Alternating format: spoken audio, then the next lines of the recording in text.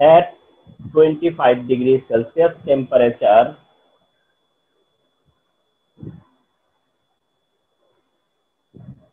solubility of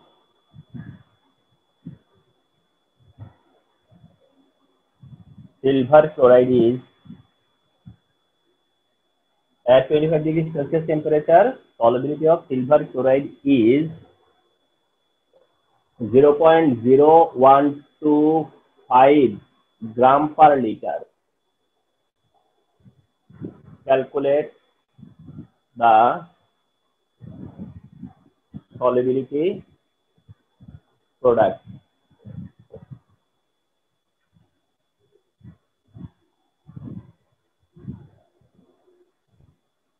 ওকে তাহলে কি বলা আছে এখানে যে 25 degree সেলসিয়াসে solubility of silver chloride is given At 25 degree Celsius temperature, solubility of silver chloride is given. এখন ক্যালকুলেট করতে হবে solubility product. তাহলে remember one thing remember one thing সেটা হচ্ছে অল টাইম যেটা হবে, তোমার সলিবিলিটি ক্যালকুলেট করতে হলে সলিবিলিটি প্রোডাক্ট গিভেন হবে। সলিবিলিটি প্রোডাক্ট ক্যালকুলেট করতে হলে সলিবিলিটি গিভেন হবে তার মানে solubility product given solubility to be calculated solubility given solubility product need to calculate এখন solubility given তো solubility product calculate করতে হবে that's all and to do this to just form a relation between solubility and solubility product that means KSP versus S you came to know in the previous class যে KSP আর S এর রিলেশনশিপটা কি করে establish করতে হয় right তাহলে salt silver chloride which cation silver cation chloride anion so simple solubility of silver is solubility of chloride also is now the KSP expression KSP expression silver cation chloride anion silver cation is chloride anion is. তাহলে কি আসবে? S এর square up to here we have completed in the last class আমরা তো last class পর্যন্ত case equal to S এর square সেটা কিন্তু we have find out okay তাহলে কি এটা তো আসলো না? এখন তুমি কি ক্যালকুলেট করবা? K SP K SP calculate করতে হবে। দ্যাট মিনস এস এর value given S value given S value given but একটা জিনিস খেয়াল করতে হবে। এস ভ্যালু গিভেন কিন্তু সেটা দেওয়া আছে গ্রাম পার লিটারে S value given but problem is here যে এটা দেয়া আছে গ্রাম পার লিটারে আমাদের লাগবে কিসে? স্যার মোল পার লিটারে মোল পার লিটারে but it is given gram per litre দেওয়া আছে গ্রাম পার লিটারে বাট এস হচ্ছে গিয়ে মোল পার লিটার ঠিক না? তাহলে এটা কখন ফিল করছ এইটা? এখন না? এখন ফিল করছ। তো এখন ফিল করছ, এখন সেটা নোট করো। S is equal to zero point zero one two কত দিয়েছি? ফাইভ গ্রাম পার লিটার তাকে নিতে হবে মোল পার লিটারে তার জন্য কি করব? Zero point zero one two five কে one forty three point five দিয়ে ডিভাইড করব। টেল মি এই ওয়ান ফর্টি থ্রি পয়েন্ট ফাইভটা কি?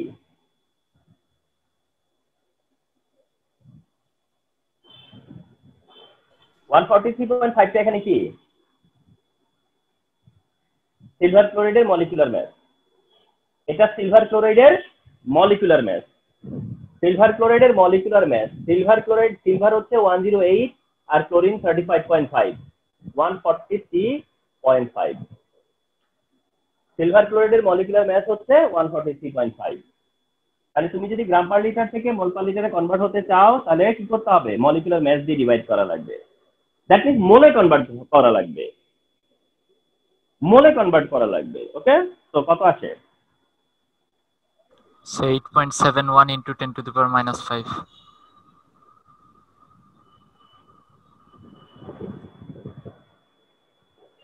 Eight point seven one ten to the power minus five এর স্কোয়ারে কত আসে?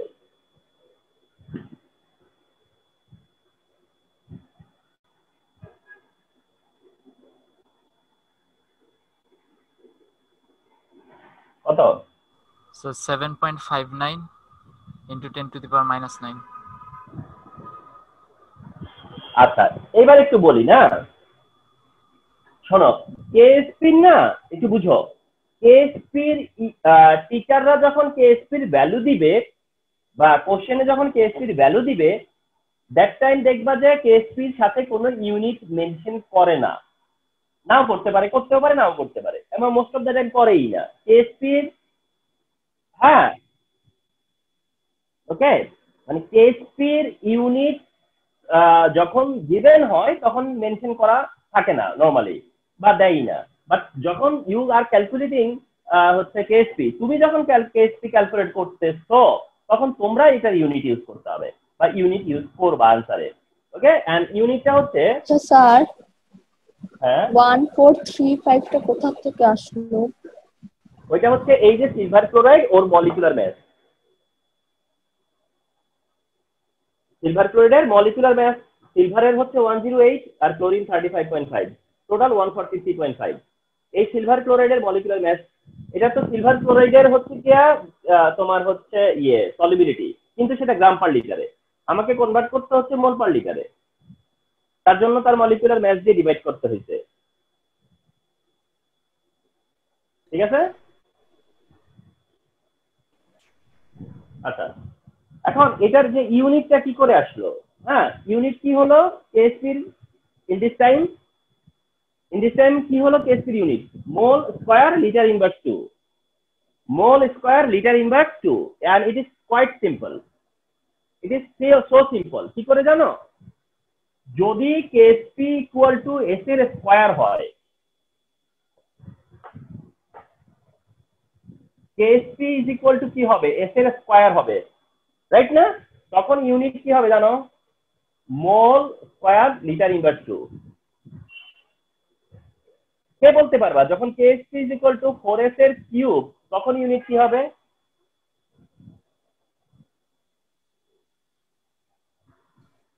বলো। মোল কিউ হবে sir.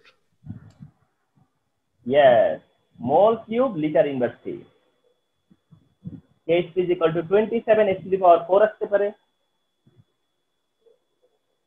তখন ইউনিট কি হবে? Mole to the power 4 litre inverse 4 ঠিক না তার মানে এই KHP এর ইউনিট হলে ওকে so this is the solution this is the solution i hope you can understand this okay it solved হয়ে গেল very simple and but very common very simple but very common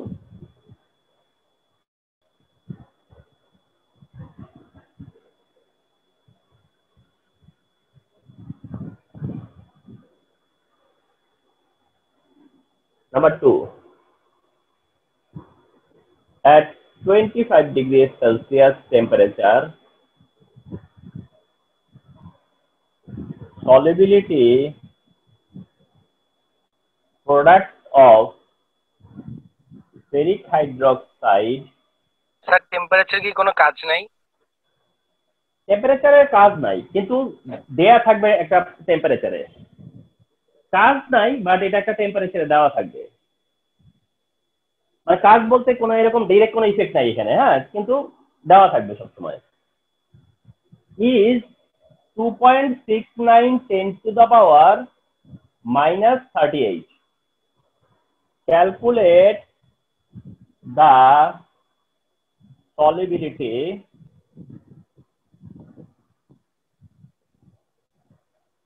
solubility of ferric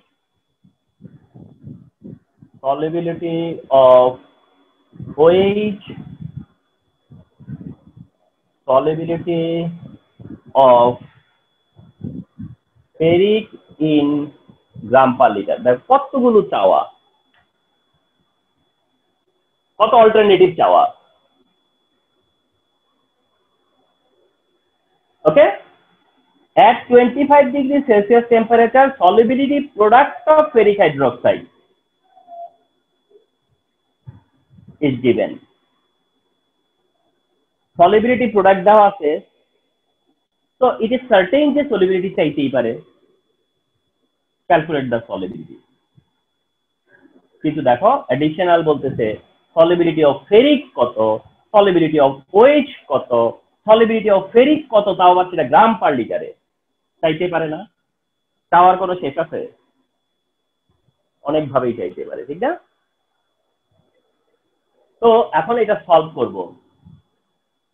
and এটা যখন solve করব, তখন যাই চাক না কেন, যাই চাক না কেন, আমাকে কি করতে হবে? ওই ফার্স্ট কাজটা ক্যালকুলেট দ্য সলিবিলিটি সেটাতে আসতে হবে না। ওইটা তো করতেই হবে। তারপরে আমাকে কোন দিকে যেতে হয়? আর নতুন করে কি করতে হয় সেটা পরের ব্যাপার। বাট এ পর্যন্ত কি আসা লাগবে, রাজ? ওকে তো সেই কাজটা আমরা করব এখন, না? কে ferric hydroxide cation ferric anion weight কত মোল অ্যানায়ন থ্রি মোল এই যে বলো আর বসাও ওকে এর সলিবিলিটি এস হলে ওর সলিবিলিটি সি এস বাস তারপরে কি? কেএসপির এক্সপ্রেশন এক্সপ্রেশন কি? Cation into anion mole number পাওয়ারে কি হয়? এটা এস ধরলে ওটা সিএস সিএস এর কি আছে? কিউ এতে কি হয়? Twenty seven S to the power four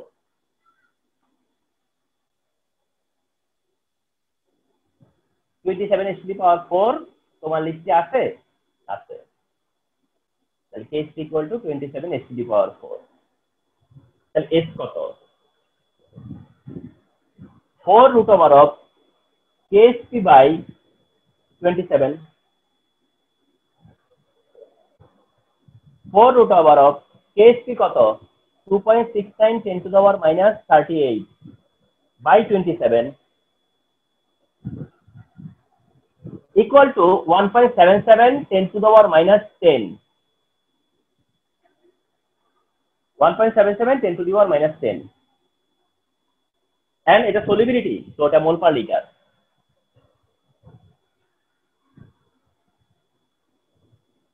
তাহলে the major part done the major part done 1.77 10 inverse 10 mole per liter তার মানে ইট ইজ ডান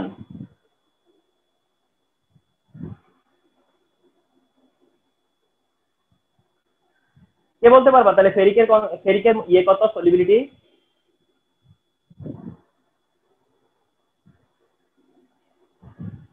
বলো। ফেরিকের কত তাহলে সলিবিলিটি?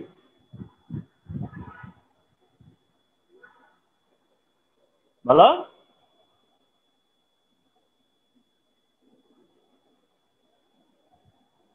তাহলে ফেরিকের কত?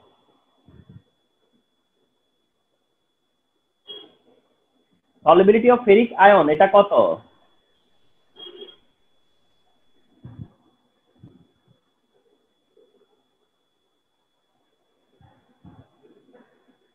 বলো।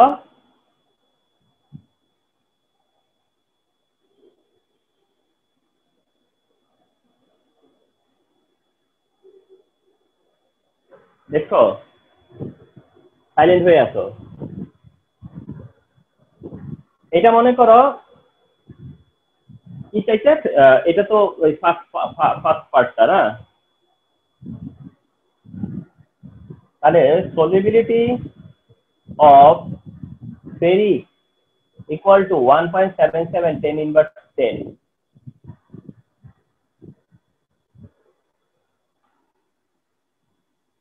অর্থাৎ যেটা সলিবিলিটি অফ ফেরিক হাইড্রোক্সাইড সেটাই সলিবিলিটি অফ ফেরিক এটা কিসের ভ্যালু এস এর ভ্যালু এটা কিসের ভ্যালু এস এর ভ্যালু ফেরিকের সাথে কি আছে? এস তাহলে ফেরিকের এস না সলিবিলিটি আচ্ছা তাহলে ওয়েটের কথা বলো, পরের কাজে চাইছে, এটা ডান এটা?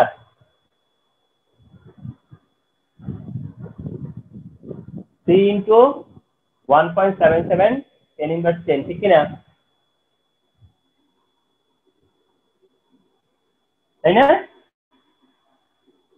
ইটস জাস্ট লজিক তাহলে ফেরিকের কত? এস তাহলে ফেরিকের আনসার ইকুয়াল কিন্তু হচ্ছে তাহলে তাহলে ওয়েটের কত হলো?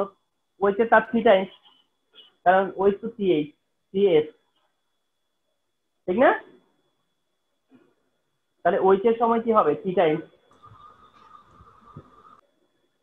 ঠিক না ইয়েস তো এটা তো ভেরি সিম্পল তাহলে তুমি যখন সলিবিলিটি ক্যালকুলেট করছ তখন মনে করতে হবে এস ক্যালকুলেট করছ।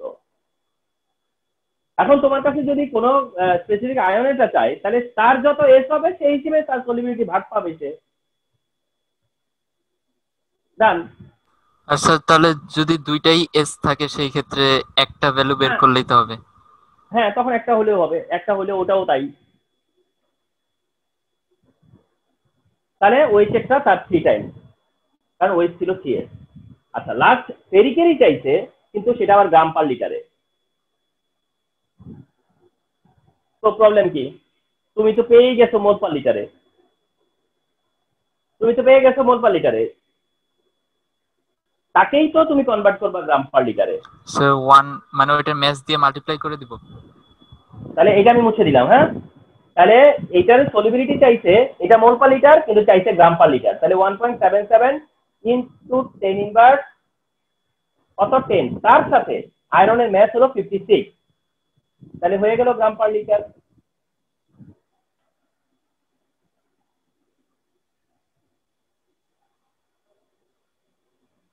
simple তার মানে whenever you can calculate the solubility whenever you can calculate the solubility, then you have several option to move. তোমার কাছে তখন অনেক অপশন আছে মুভ করার মতো বিভিন্ন দিকে। তো হোপ তোমরা এটা পারবা and this is very important this is very important remember হ্যাঁ?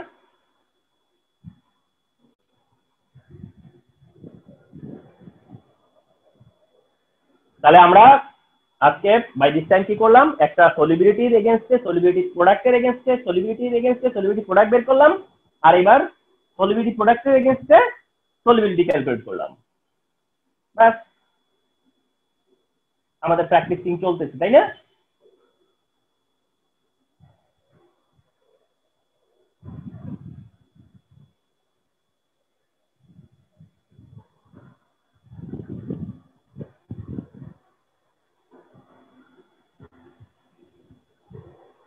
এখন আমি যাব আর একটা ভাইটাল টপিকে সেটা হচ্ছে common ion effect common ion effect and which is an influencing factor which in which is an affecting factor of solubility সলিবিলিটির one of the affecting factor হচ্ছে common ion effect সলিবিলিটির one of the affecting factor হচ্ছে কি? Common ion effect that means because of common ion solubility changes because of common ion solubility changes তাহলে বুঝতে হবে first of all what is common ion and followed by what is common ion effect first of all common ion কি? And followed by হচ্ছে common ion effect কি common ion followed by common ion effect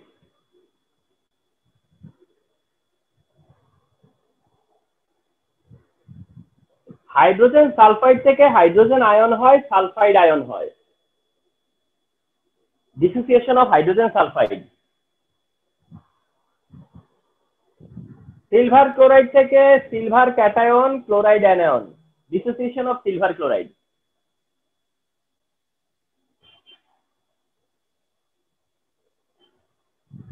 এগুলো reversible and equilibrium এগুলো reversible so that it will obtain equilibrium এটাই equilibrium obtain করবে, এটাও equilibrium obtain করবে। এটা ডিসোসিয়েশন অফ হাইড্রোজেন সালফাইড এটা এটা উইক ইলেকট্রোলাইট উইক অ্যাসিড এটা weak electrolyte weak salt dissociation of hydrogen sulphide dissociation of AgCl silver chloride reversible both of them so that they must get equilibrium state they must obtain equilibrium state তারা অবশ্যই কিসে যাবে equilibrium স্টেটে যাবে এখন এরা যখন ইকুইলিব্রিয়াম স্টেটে যাবে তাহলে এরা লাসাতিলিয়ে প্রিন্সিপাল ফলো করবে না? এরা লাসাতিলিয়ে প্রিন্সিপাল কি ফলো করবে না? ইয়েস স্যার করবে। তাহলে এরা লাসাতিলিয়ে প্রিন্সিপাল ফলো করবে এগ্রি করো তাই না লাসাতিলিয়ে প্রিন্সিপাল ফলো করলে equilibrium on equilibrium on equilibrium what are the affecting factor temperature pressure concentration temperature increase decrease হলে কি হয়? প্রেসার ইনক্রিজ ডিক্রিজ হলে কি হয়? বাট আমরা নানাদার তাদের নিয়ে কথা বলতেছি না এখন। এখন হচ্ছে effect of concentration effect of concentration কি? According to Le Chatelier principle effect of concentration কি? According to Le Chatelier principle এর মানে হচ্ছে একটা ইকুইলিব্রিয়াম সিস্টেমে যদি ইকুইলিব্রিয়ামে থাকা অবস্থায় রিয়াক্টেন ইনক্রিজ করে, তাহলে এটা প্রোডাক্টের দিকে যায়। তাতে ইকুইলিব্রিয়াম রাইটে যায়। রিয়াক্টেন ইনক্রিজ হলে ইকুইলিব্রিয়াম রাইটে যায়। আর যদি প্রোডাক্ট ইনক্রিজ করে ইকুইলিব্রিয়াম লেফটে যায়। যদি প্রোডাক্ট ইনক্রিজ করে, তাহলে ইকুইলিব্রিয়াম লেফটে যায়। তাহলে ইকুইলিব্রিয়ামে on equilibrium this is the effect of concentration this is the effect of concentration So, one thing remember, যদি সামহাও এটা ফরওয়ার্ড হয় তাহলে মনে করবা সলিবিলিটি ইনক্রিজ হয়। সামহাও যদি এটা ব্যাকওয়ার্ড হয় তাহলে সলিবিলিটি ডিক্রিজ হয়। এটা যত ইনক্রিজ ফরওয়ার্ড হবে সলিবিলিটি তত ইনক্রিজ আর এটা যত ব্যাকওয়ার্ড সলিবিলিটি তত ডিক্রিজ এখন এফেক্ট অফ কনসেন্ট্রেশনও বুঝলাম। অ্যান্ড আমরা বুঝলাম যে সলিবিলিটি কখন ইনক্রিজ হবে আর কখন ডিক্রিজ হবে ওকে তুমি, তোমরা যখন এইচসিএল অ্যাড করবা সলিউশনে সলিউশনে যখন এইচসিএল অ্যাড করবা সাপোজ টু সে তখন সেখানে হাইড্রোজেন আয়ন আর ক্লোরাইড আয়ন প্রেজেন্ট থাকবে। হাইড্রোজেন ক্লোরাইড অ্যাড করলে এই সিস্টেমটাতে যদি হাইড্রোজেন ক্লোরাইড অ্যাড করো, তাহলে hydrogen ion and chloride ion produce হবে। এই সিস্টেমটাতে তুমি সোডিয়াম ক্লোরাইড অ্যাড করছ করে sodium ion and chloride ion form করছে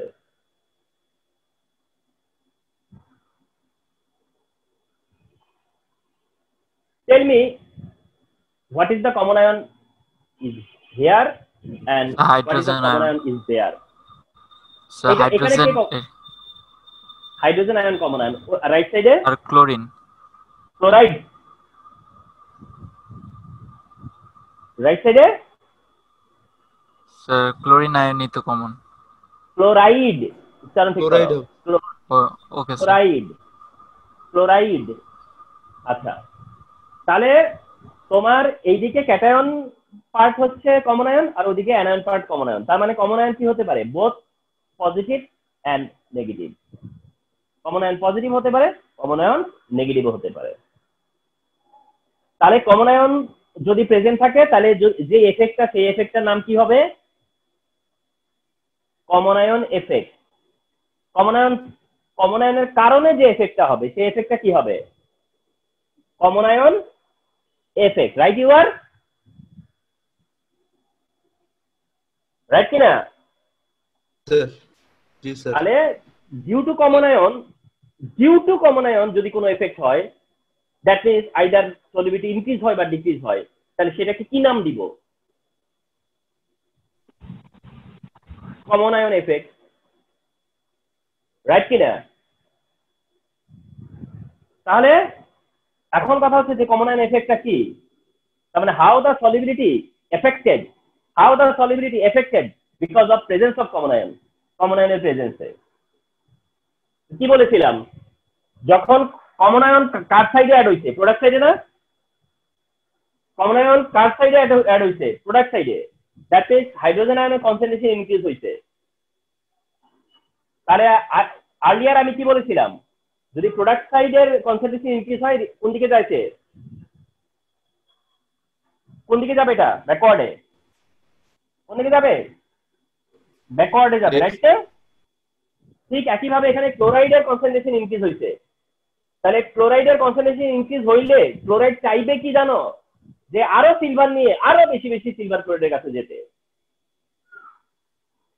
তার মানে এইদিকে হাইড্রোজেন আয়ন যদি ইনক্রিজ হয়, তাহলে হাইড্রোজেন আয়ন ওই সালফারকে নিয়ে ব্যাক করবে। ওখানে যদি ক্লোরাইড ইনক্রিজ হয় ক্লোরাইড সিলভারকে নিয়ে ব্যাক করবে। এই ব্যাক করার টেন্ডেন্সি বেড়ে যাবে। তাহলে সলিবিলিটি কি বাড়লো না কমলো? কমনায় থাকায় ডিক্রিজ হয়েছে।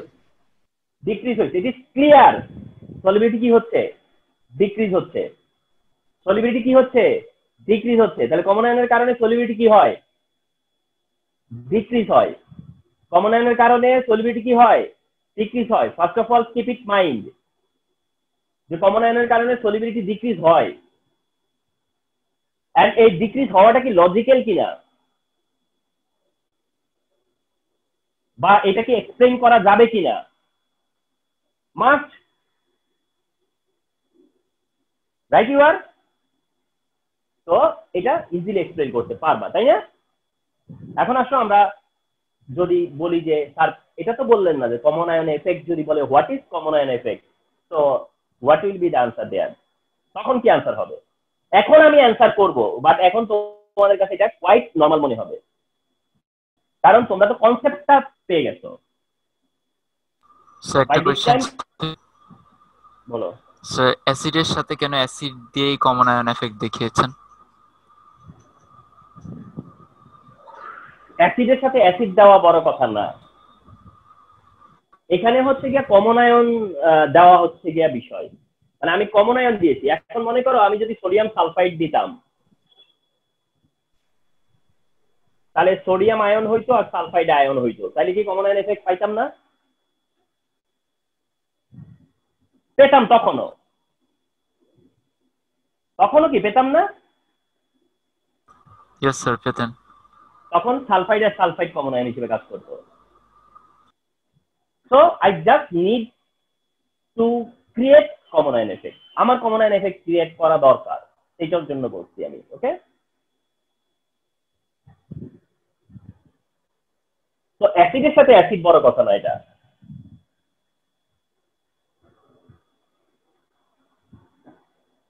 definition of common ion effect definition of common ion effect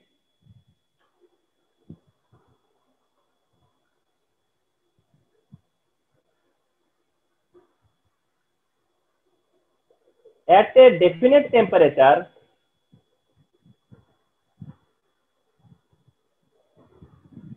the decrease of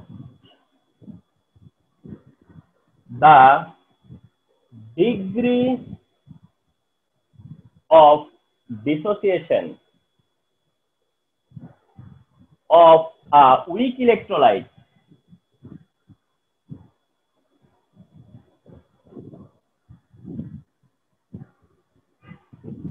because of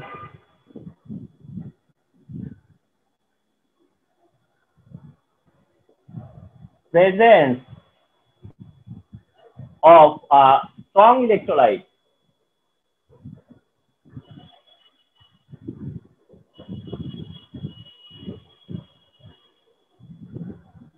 Where both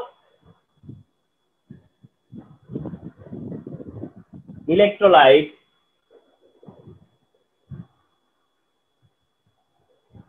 have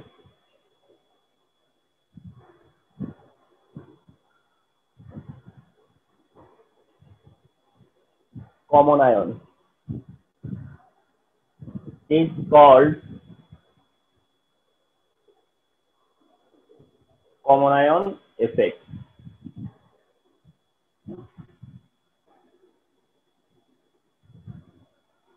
এটা একটু দুইবার করে পড়ো, আমি একটু পানি খাই। এক নাগারে ক্লাস করতেছি তো, সেই সন্ধ্যা থেকে গলাটা শুকিয়ে আসতেছে। একটু পানি খাই আমি। গলা কাঠ হয়ে গেছে। বাবা।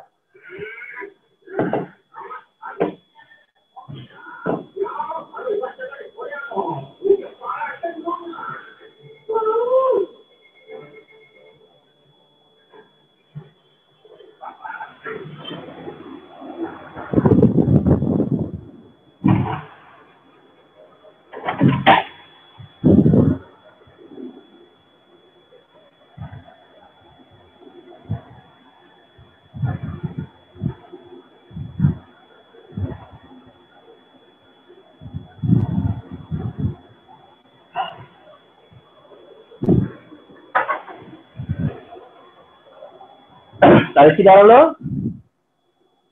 যে এ ডেফিনিট টেম্পারেচার এটা তো সবকিছুই একটা সার্টেন টেম্পারেচারে ওই হিসেবে এটা বলছো যে definite temperature the decrease of degree of dissociation the decrease of degree of dissociation মানে কি? মানে ডিক্রিজ করবে, কিন্তু কি ডিক্রিজ হবে? Degree of dissociation degree of dissociation মানেটা হচ্ছে কতটুকু ডিসোসিয়েট হয়? মোলের রেসপেক্টে ডিগ্রি অফ ডিসোসিয়েশন হচ্ছে সেটা। কতটুকু ডিসোসিয়েট হয়? মোলের রেসপেক্টে ওটা হচ্ছে ডিগ্রি অফ ডিসোসিয়েশন তাহলে সলিবিলিটি কমা মানে কি?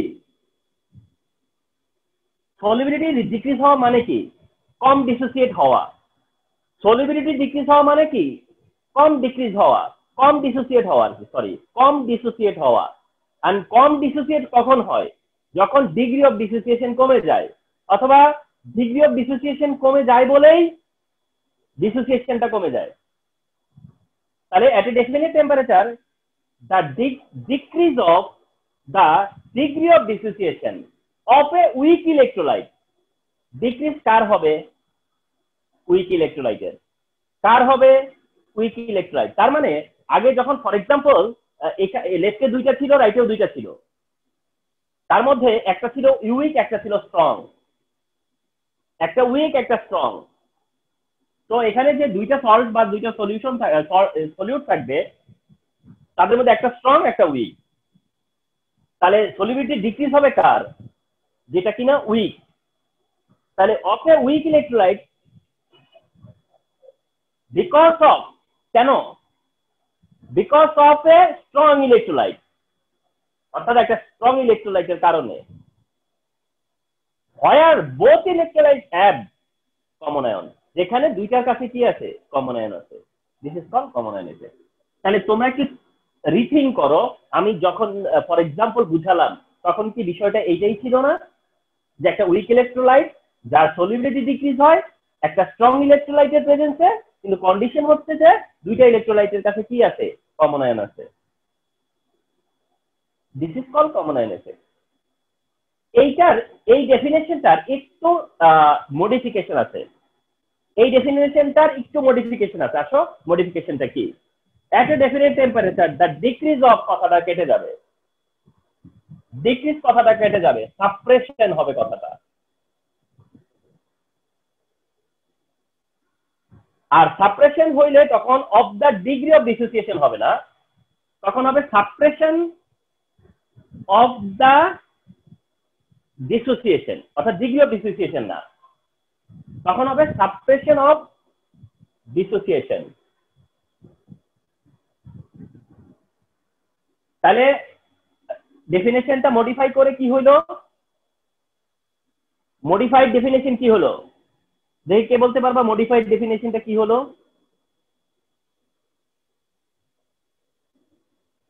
বলো মডিফাইড ডেফিনেশন কি হলো So at a definite temperature, the suppression of dissociation of a weak electrolyte. Very So- good তারপরে Very good. of the তাহলে বুঝছ মানে যখন কথাটা থাকবে ডিক্রিজ তখন তার সাথে থাকবে ডিগ্রি অফ ডিসোসিয়েশন কিন্তু যখন কথাটা থাকবে সাপ্রেশন তখন ডিগ্রি অফ ডিসোসিয়েশন না, তখন হবে সাপ্রেশন অফ ডিসোসিয়েশন অর্থাৎ ডিসোসিয়েশনটাকে সাপ্রেস করে। ডিসোসিয়েশন হতে দেয় না।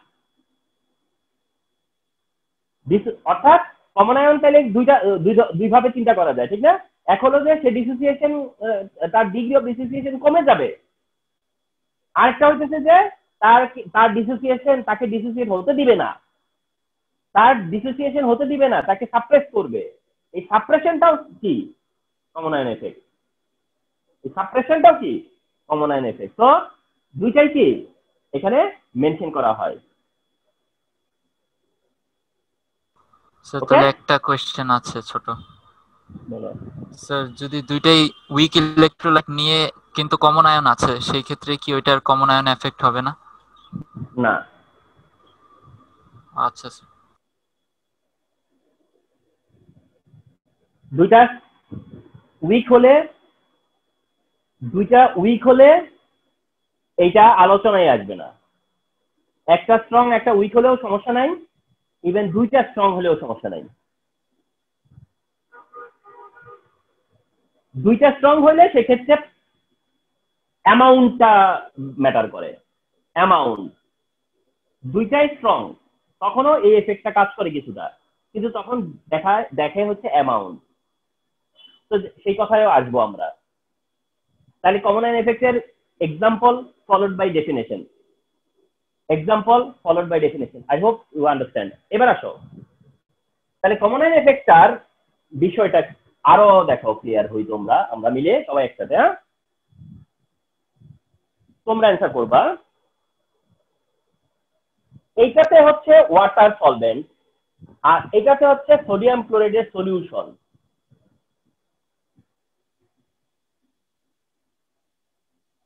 একটাতে ওয়াটার সলভেন্ট আরেকটাতে সোডিয়াম ক্লোরাইড সলিউশন আমি কি করব? এটাতে সিলভার ক্লোরাইড অ্যাড করব, এটাতেও সিলভার ক্লোরাইড অ্যাড করব। তো, আমার কোশ্চেন টু ইউ অল প্রথম কোশ্চেন হলো আমি কি দুইটা কন্টেইনারে ইকুয়াল এজিসিএল অ্যাড করতে পারব?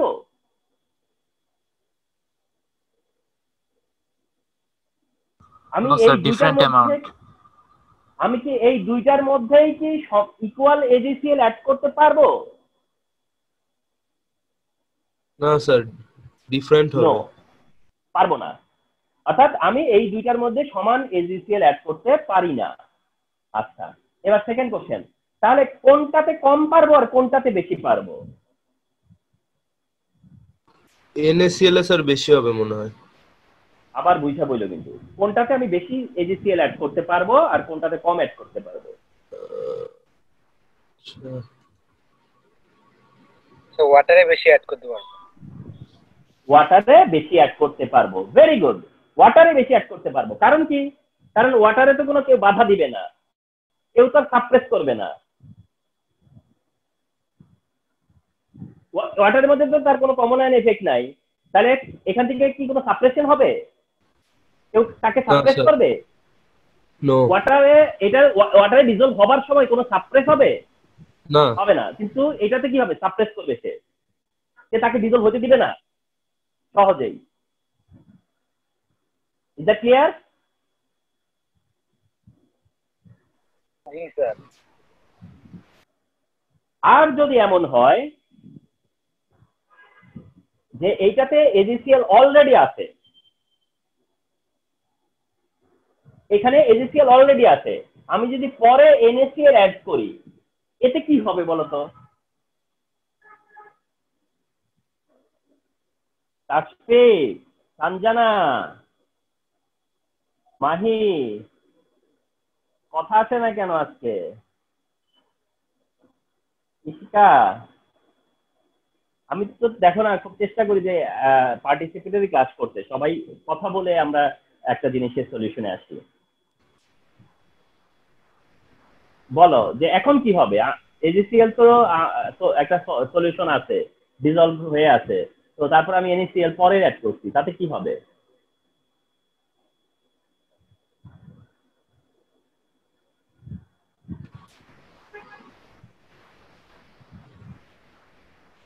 বলো। তো দুইটা মিলে তো আবার সেম জিনিসই থেকে যাওয়ার কথা। বুঝা বলো কমন আয়নের রেসপেক্টে বলতে হবে? সিএলটা সিএল এর অ্যামাউন্টটা স্যার মানে ডিক্রিজ হ্যাঁ, হবে। হ্যাঁ। মানে কার ডিক্রিজ হবে সিলভার ক্লোরাইডের ইয়েস স্যার তাই তো? হ্যাঁ তাতে হবেটা কি? মানে কিছু একটা হবে তখন কি হবে বলো? যে সিলভার ক্লোরাইড একটা সলিউশন এর মধ্যে আমি সোডিয়াম ক্লোরাইড অ্যাড করতেছি তাতে করে সিলভার ক্লোরাইডের সলিবিলিটি ডিক্রিজ হবে। এটা ঠিক কিন্তু এতে অ্যাজ এ রেজাল্ট কি হবে? স্যার প্রিসিপিটেট পাবো। এতক্ষণ লাগল কেন?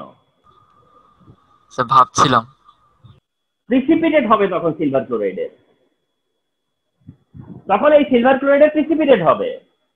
কারণ যখন সিলভার ক্লোরাইড ডিজলভ হয়ে আসে তার এর পরিপয়ন অর্থাৎ তার যতটুকু ডিজলভ হওয়ার কথা, তুমি যখন এনএসিএল অ্যাড করতেছো, তার সলিবিলিটি ডিক্রিজ হচ্ছে। তো সলিবিলিটি ডিক্রিজ হওয়ার মানে কি? সিলভার ক্লোরাইডের ফরওয়ার্ড রিঅ্যাকশনটা ব্যাকওয়ার্ড হয়ে যাচ্ছে। ফরওয়ার্ড রিঅ্যাকশনটা যদি ব্যাকওয়ার্ড হয়ে যায়, তাহলে সেখানে কি প্রডিউস হচ্ছে? সিলভার ক্লোরাইড তো সিলভার ক্লোরাইড যদি প্রডিউস হয়, তাহলে সিলভার ক্লোরাইড তো সলিড তো এটা কি হয়ে যাবে? প্রিসিপিটেট হয়ে যাবে না? তাহলে কি হবে? প্রিসিপিটেশন হবে। এতে কি হবে? প্রিসিপিটেশন হবে। তো এইরকম এগুলো স্টেম হিসেবে তোমাকে দিবে। অ্যান্ড তোমাদের কাছে জানতে চাওয়া হবে যে এখানে কি হবে। রিমেম্বার দিস হ্যাঁ? তাহলে দেখছ মানে কমন অ্যান্ড এফেক্টের এফেক্টটা কয় রকম কাজ করে? একটা হচ্ছে প্রি এফেক্ট একটা পোস্ট এফেক্ট অর্থাৎ দুই রকম ভাবে কাজ করে।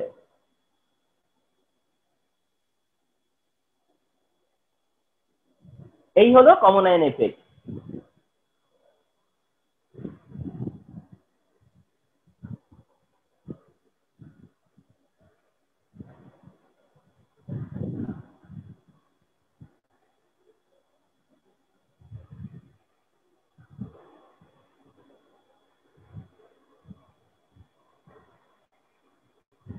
এই একটা জার এই একটা জার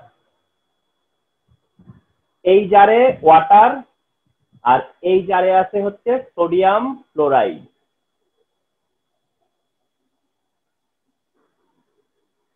একটাতে ওয়াটার একটাতে সোডিয়াম ক্লোরাইড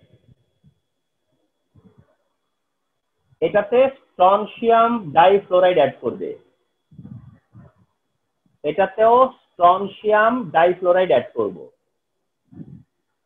বোথ কন্টেইনারে একটা water solvent strontium difluoride add করব, আর একটা হচ্ছে স্ট্রনশিয়াম ডাইফ্লোরাইড অ্যাড করব, কিন্তু সোডিয়াম ফ্লোরাইডে আর এই সোডিয়াম ফ্লোরাইডের মোলারিটি হচ্ছে জিরো পয়েন্ট ওয়ান মোলার ওইখানে সোডিয়াম ফ্লোরাইড আছে হচ্ছে জিরো পয়েন্ট ওয়ান মোলার আচ্ছা। দেন তোমাকে কোশ্চেন করবে যেটা দেওয়া থাকবে সেটা হচ্ছে যে KSP of strontium difluoride is 1.9 10 inverse 11 strontium ডাইফ্লোরাইডের কি দেওয়া আছে? কেএসপি সলিবিলিটি প্রোডাক্ট স্টনশিয়াম ডাইফ্লোরাইডের সলিবিলিটি প্রোডাক্ট দেওয়া আছে 1.9 10 ইনভার্স 11 দেওয়া তোমাকে কোশ্চেন করবে will the solubility of strontium difluoride be same in both container analyze mathematically কিন্তু বলছে অ্যানালাইজ করতে হবে mathematically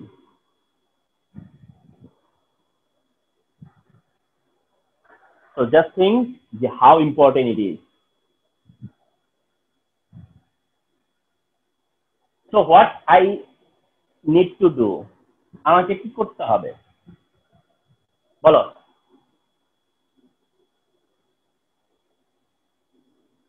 যখন বলছে যে will the solubility of strontium difluoride be same in the both container analyze mathematically what should do কীভাবে করব তা না বলতে পারো আমি আমার কি করা উচিত এখন?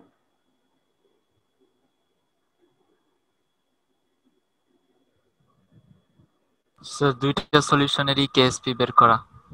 কেএসপি দেওয়াই আছে। কেএসপি বার করব কেন? মানে রিঅ্যাক্ট করার পরে মানে স্ট্রনশিয়াম রিঅ্যাক্ট করার পর। এখানে কোনো রিয়াকশন হবে না। মানে রিয়াকশন হবে না ঠিক বলতে এখানে কোনো রিয়াকশনের সুযোগ নাই তো। কনসিয়াম ওয়াটারের সাথে রিয়াকশনও করবে না। ওটাও ওয়াটার ওখানে যে রিয়াকশন করবে না। এখানে কেউ কারোর সাথে রিয়াকশন তো করতেছে না। আমরা কি এতক্ষণ ধরে কোনো রিয়াকশন দেখাইছি নাকি?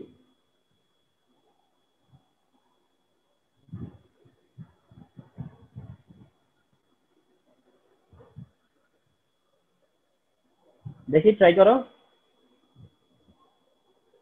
তো ওয়াটারে মোল দাও নাই। ওয়াটার মোল দেওয়া লাগতেও না। ওটা দিয়ে আমার কোনো কাজ নাই। কিন্তু আমার কি করতে হবে তাই বলো। আচ্ছা যাই হোক সহজ জিনিসটা তোমাদের কাছ থেকে কেন আসতেছে না। তোমরা বলবা যে স্যার আপনি বলো। দুটাতেই ফ্লোরাইড আয়ন আছে তাই কমন আয়ন ইফেক্ট হবে। তাই সলিবিলিটি সেটা তো- রেজাল্ট আরে বাবা সেটা তো রেজাল্ট এফেক্ট কিন্তু আমি আমাকে কি আমি কি কি করে প্রুফ করব ওদের কথাটা যে সেম কি না?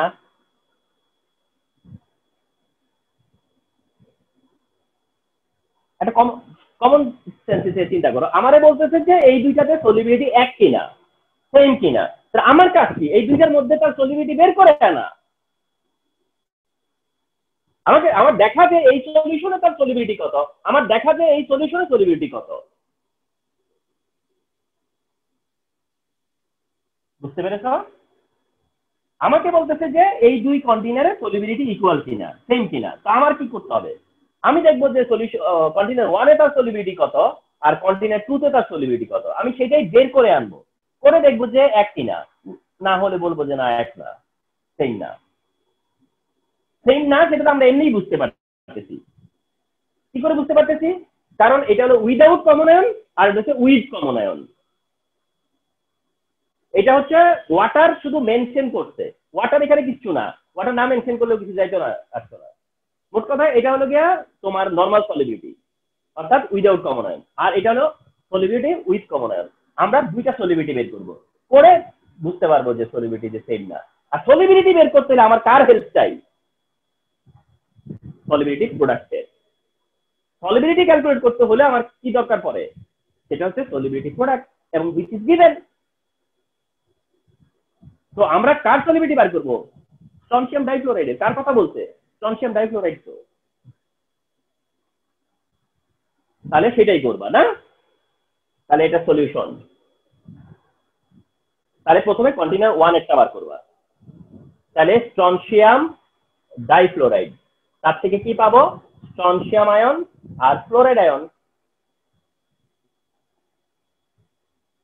strontium difluoride cation কি? স্ট্রনশিয়াম অ্যানায়ন কি? ফ্লোরাইড একটা ক্যাটায়ন দুইটা অ্যানায়ন এটা কি ধরবা? এস এটা কি ধরবা? টুয়াইস এস তারপরে কি করবা? কেএসপি আর কেএসপি মানে কি? Cation into anion mole number পাওয়ারে তারপরে কি করতে হয়? এস আর এটা কত? টুয়াইস এস তার কি স্কোয়ার এতে করে কি আসে? ফোর এস কিউব আসার কথা না ফোর এস কিউব এইবার আসো, কি বার করতে বলছে? এস তাহলে এস ইকুয়াল টু কি? Root over of cube root over of KSP by four KSP by four cube root আমি একটু জায়গা কম রাইট সাইডে গেলাম। Equal to cube root over of one point nine ten inverse eleven by four কত হয়? So 1.68 into 10 to the power minus 4. One point six eight ten to the power minus four mole per litre একটা solubility পেয়ে গেছো?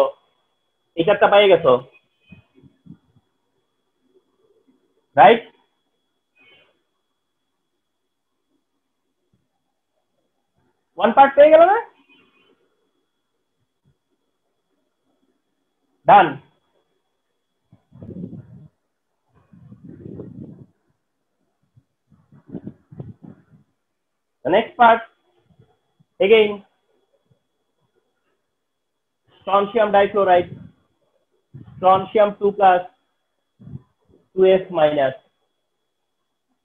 তাই কিনা? এইবার এটার নিচে এস বসবে বাট এটার নিচে টু এস এর সাথে জিরো পয়েন্ট ওয়ান অ্যাড হবে।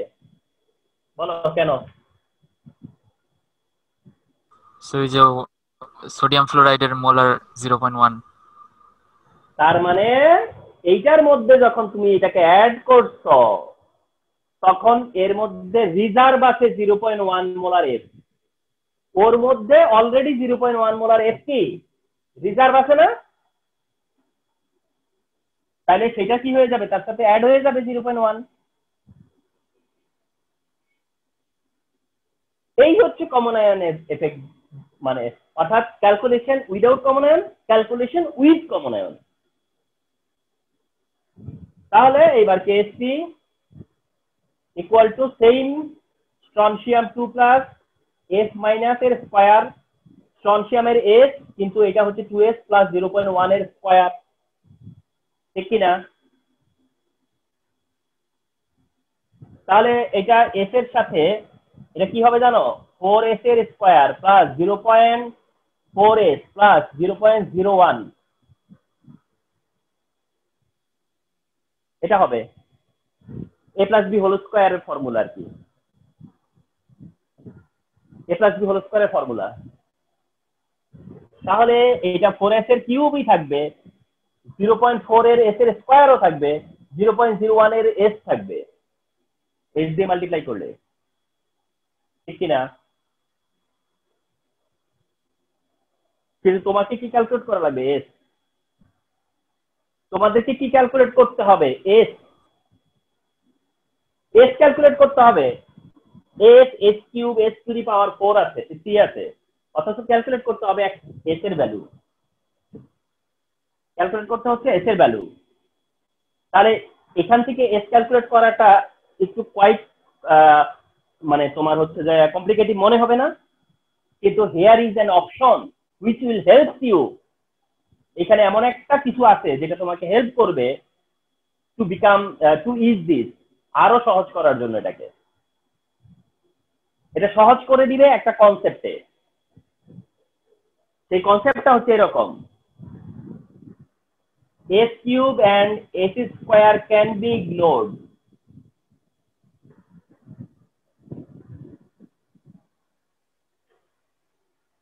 দেখো কত বাচ্চা বেঁচে গেছে। S cube and s square can be ignored এই অবস্থা আসছে কি করবা জানো? এইরকম সিচুয়েশনে যখন আসবে, তখন এই কাজটা করবা। একটা এস রেখে, অর্থাৎ যার পাওয়ার সবচেয়ে কম, ওই এস রেখে বাকি যতগুলা পাওয়ার পাওয়ার বেস যেগুলো এস থাকবে জাস্ট ওগুলোকে বলে দিবে এক সেন্টেন্সে যে can be ignored S cube S square can be ignored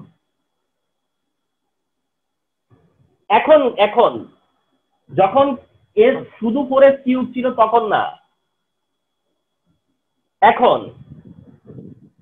কারণ ইগনোর করতে হয় কারও রেসপেক্টে ইগনোর করার ব্যাপারটা একটু বুঝিয়ে বলি। মনে করো ওয়ানের one plus zero point zero zero one আছে। One plus zero point zero zero one তাহলে কত আছে? One point zero zero one তুমি যদি এটা সমান সমান ওয়ান পয়েন্ট জিরো জিরো দিয়ে অ্যান্সার লিখে দাও, তাও কিন্তু অ্যান্সার হবে। তার মানে তুমি এটাকে কি করছ? ইগনোর করা হয়ে গেল না এটা? এটা ইগনোর করা হয়ে গেছে।